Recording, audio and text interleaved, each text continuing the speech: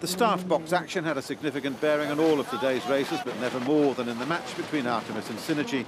Both Terry Hutchinson on Artemis and Karol Jablonski steering the Russian boat were quick to mix it up and try to extract an error from their opponent.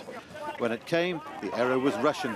Jablonski driving too close to Artemis, and the Swedish boat was quick to ask the question of the umpires.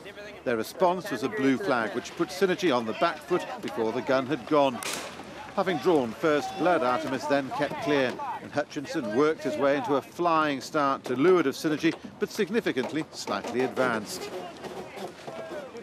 Artemis controlled the first beat, repelling Synergy's attacks to round the top mark 24 seconds up.